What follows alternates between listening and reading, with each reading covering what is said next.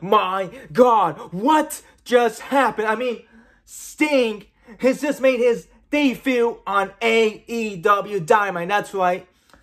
Oh, like, I, like, I, I, am speechless. I don't know. I, I'm like shocked right now. Like, holy shit. Holy shit. Holy shit. Oh my god. You, you know what? It, it is so weird that Sting not also made his debut on AEW, but he also returned to TNT. Like, oh my god. Like, oh my god. Like, uh, holy shit. Sting is now on AEW.